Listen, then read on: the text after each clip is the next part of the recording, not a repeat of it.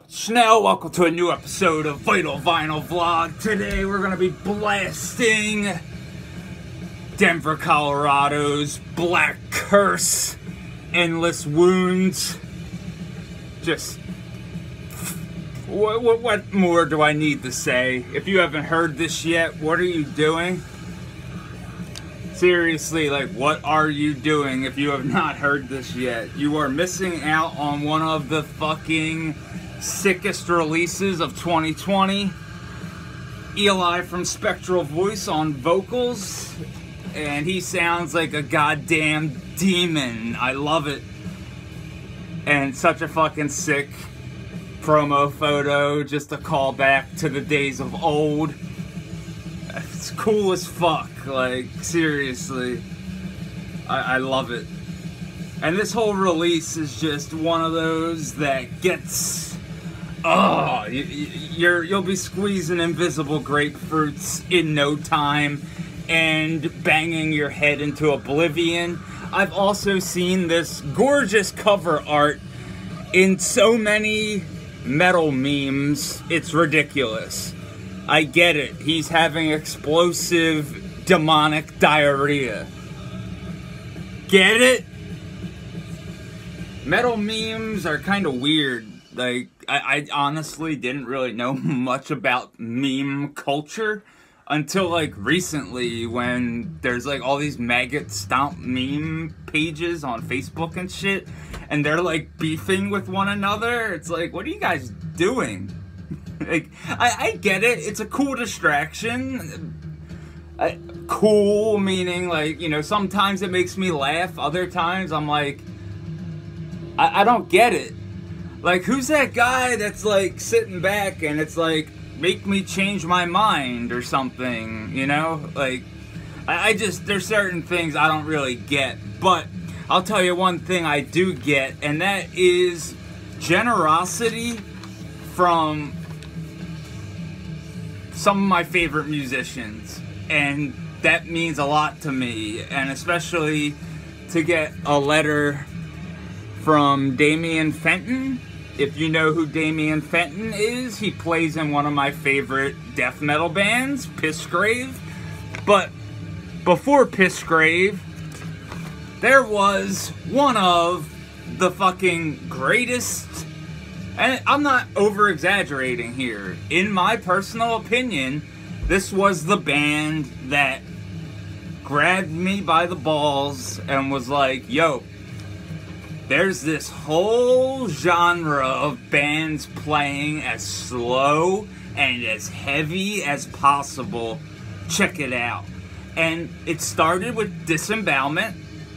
If you know about the Disembowelment tape story, then you know it. If you don't, I don't feel like repeating it, but hey man, appreciate the interest in this shit. Stay safe. If I find any copies of the full length, I'll send you one.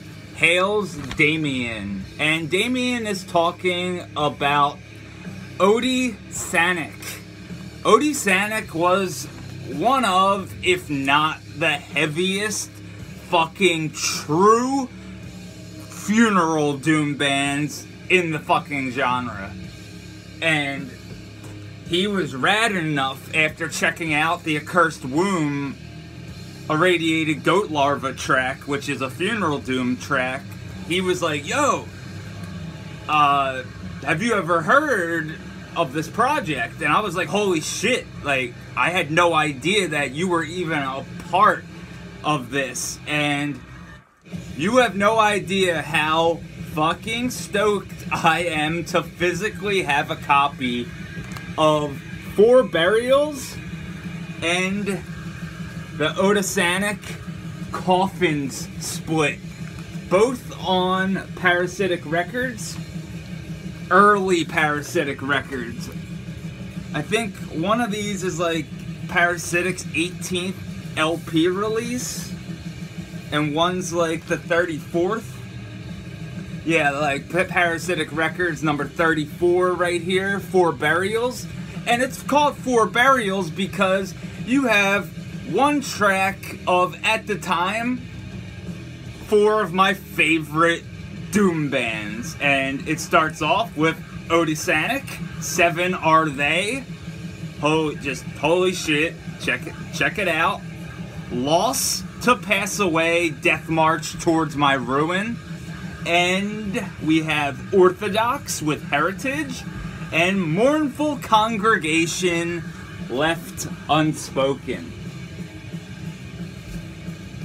Gorgeous, gorgeous stuff here. Double LP.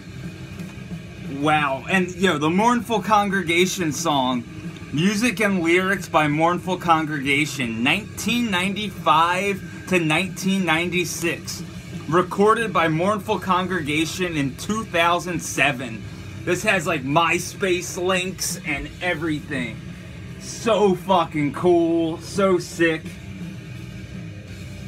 Otesanek, Loss, Orthodox, and Mournful Congregation. These bands, like, legitimately not only helped me through some very, very difficult personal matters during this time period, but they still hold up today. And that's what's so fucking sick. Like, it's. If this was to drop today, they, this would probably sell out. Like, immediately. Like, you have Loss on a split with Mournful Congregation. And Orthodox is a little bit, you know, not as popular. But Otesanek, holy fuck. Like, I'm not even fronting whatsoever and kissing ass. This is some of the heaviest shit ever. In the words of Paul, this is true doom. And just look at this fucking bad boy. Double LP starts off with Otesanek, then Loss, and like you can just tell that like this whole both of these releases, especially the Coffin split, that led. Oh, I'll get into it in a second, but let me finish going through the four burials split because I, I really don't have words for some of these songs. Like they're just, you know, absolutely depressing, but sometimes there's like a little glimmer of hope. And it's kind of fucking sick. Like, Mournful Congregation Left Unspoken. That track, wow. Like, right now, I have a copy of Mournful Congregation, the June Frost on tape sitting at the Philadelphia hub along with the Anhedonist Netherwards tape. So I'm like fucking getting crushed by tons of doom right now. But like a label like Parasitic heavy hails to Tim for just going all the fuck out always when it comes to his vinyl releases. Nothing's half-ass. It's all or nothing. It's fucking great.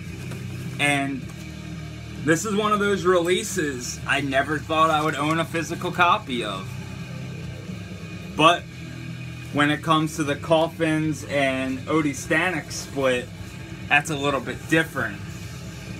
See, I actually had a copy of this back in the day. And the cover is this way. And this is a very special release for numerous reasons. But on a personal level, this is so important because I became obsessed with coffins. And this was before coffins started putting out a split every five minutes. Like, I remember talking to a friend of mine that he might still be in uh, Bongripper, but he was like, if you like this split, check out Mortuary in Darkness. And that really opened the floodgates to Death Doom metal. Like, I obviously knew it existed, but that is what took me down that specific rabbit hole.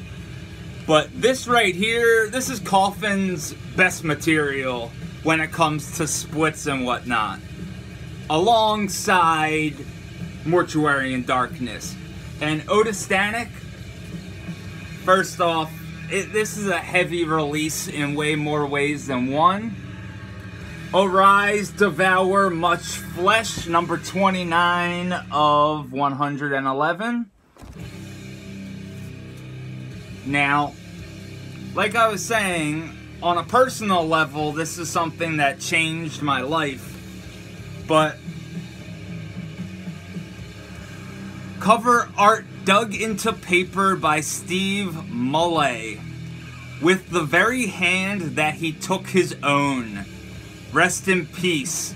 A body so full of truth. I saw it grow over half my blurry life, kindred in every sense to be lowered into ground.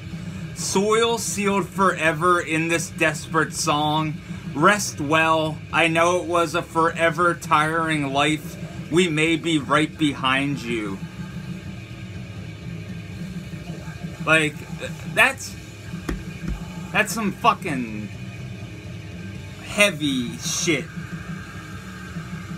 Let us give thanks unto Satan and rejoice in the goodwill he has shown us.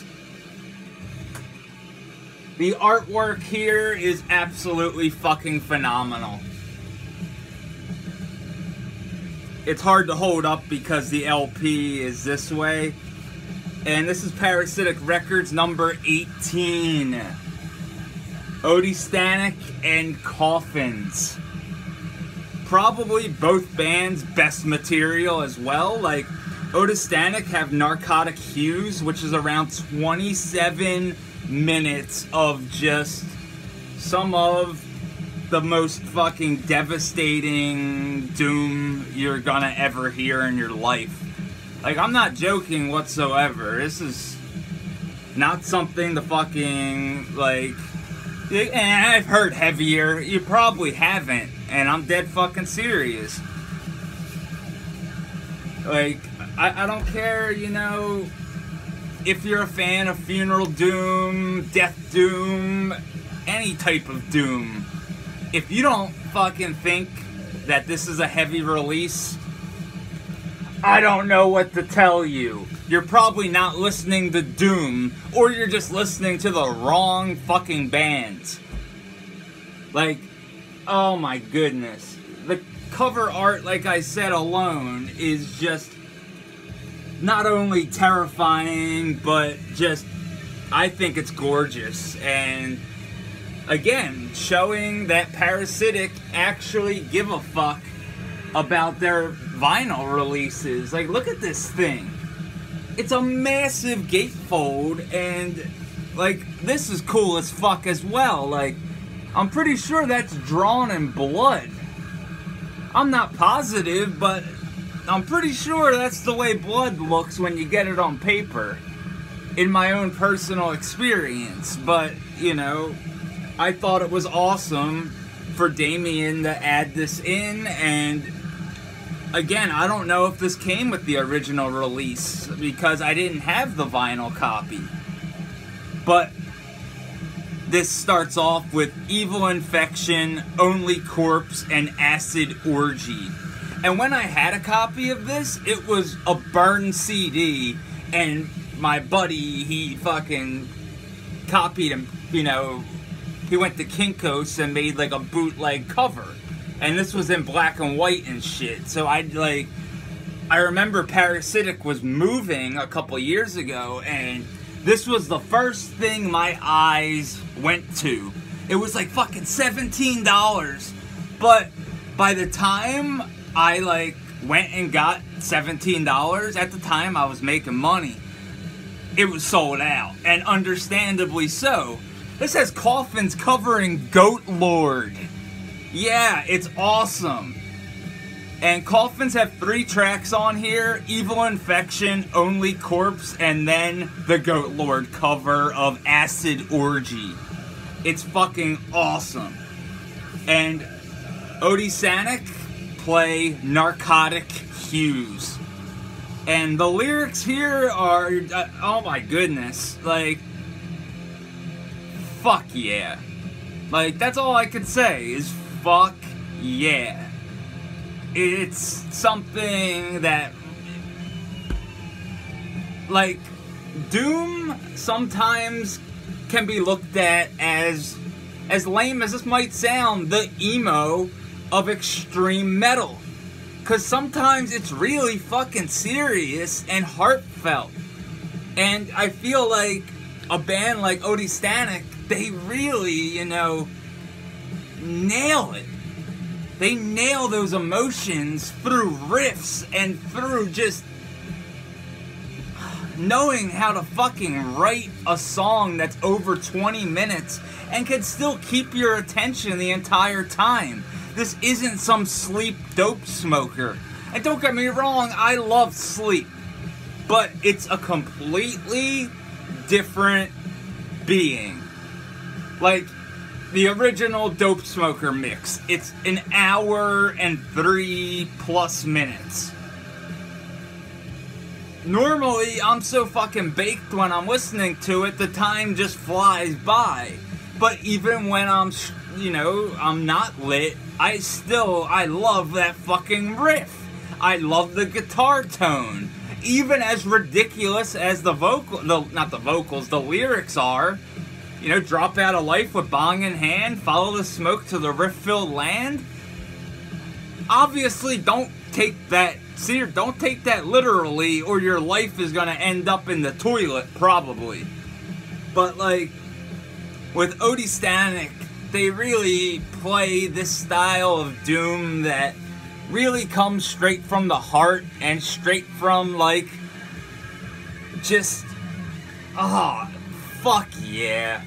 Coffins and Stanek, Parasitic Records this split right here is one of those records that legit changed my fucking life. I didn't know that stuff like this still existed at that time period. Like, you had bands like Graves at Sea putting out the Documents of Grief demo and stuff, and Asunder, a clarion call Whoever has those fucking rights, I think it's nuclear war now. I am, you know what? I'm gonna get on my fucking knees. Please, please, YK, reissue Asunder, a clarion call, and weakling maybe while you're at it. That would be awesome. But these two splits right here this is top of the line Doom. Four burials and coffins with Otesanek. Both on Parasitic Records, kind of in its infancy here as well, which is fucking awesome. Like, Tim is one of those guys that anything like Parasitic puts out is 98.7% pure hellfire. It's killer fucking shit. And it's just one of those labels that they don't really put out stinkers. Like, Tim has a fucking sick taste in music, and he's one of those dudes that, you know, really helped me find out about a lot of new bands that I wouldn't have known about otherwise. But this release right here, this was my introduction to Loss. And I remember like having such a hard time finding like physical loss material and whatnot. And I didn't have a vinyl copy of this. Again, this was all just digital files and shit because like it was hard as fuck to find. Like I didn't know at the time like what websites to go to. I just used to legit pretty much only shop at my local record store because it was so fucking good. And that was the old Relapse store on South Street. I'm sure some of you visited it back in the day. Relapse switched some positions one day, and all my friends that worked there were out of fucking jobs in under a day. It was fucked up, and it's one of the many reasons I'm not stoked on Relapse Records these days. It's ever since that happened, it left a sour taste in my mouth. And I think it's awesome that they have a band like Outer Heaven on their label, and I'm stoked as fuck for those guys. They're working on new material, and I'm sure it's gonna be badass. But when it comes to fucking doom metal, I highly suggest seeking out both of these split releases.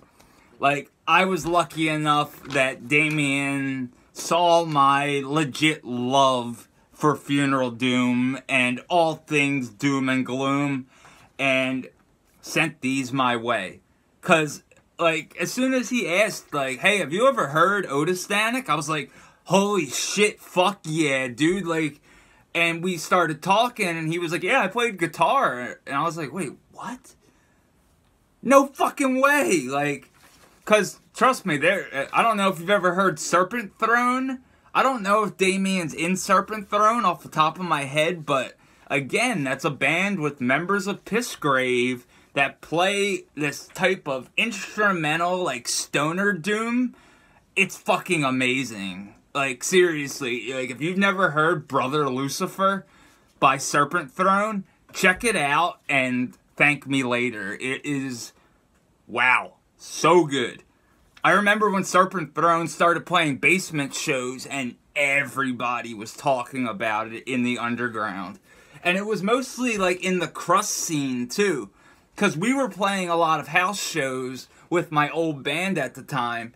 And I remember everybody being like, yo, Serpent Throne. Like, you gotta see Serpent Throne. You gotta see Serpent Throne. And yeah, I remember seeing them at Johnny Brenda's, and it was fucking heavy. But the fact that Damien does appreciate that, you know, I am still interested in this type of kind of lost doom metal. Like, there's a lot of releases out there that up until recently were kind of considered just MIA, or there's labels that just sat on their asses and didn't do anything. Like, I'm stoked.